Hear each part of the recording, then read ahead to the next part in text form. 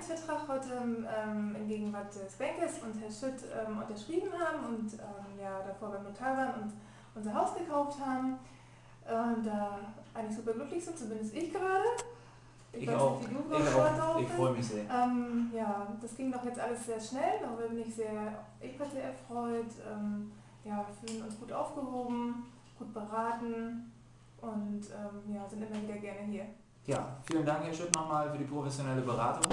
Ich hatte ja doch abends immer noch mal ein paar Kopfschmerzen gehabt und nochmal immer wieder hin und her gerechnet, mir auch im Internet andere Angebote angeschaut. Äh, jedoch habe ich schnell festgestellt, dass doch Ihre Angebote sehr lukrativ waren. Ja, vielen Dank nochmal auf, an Frau Köpke. Hat uns sehr gefallen hier und wir würden Sie gerne weiterempfehlen oder empfehlen Sie auch weiter.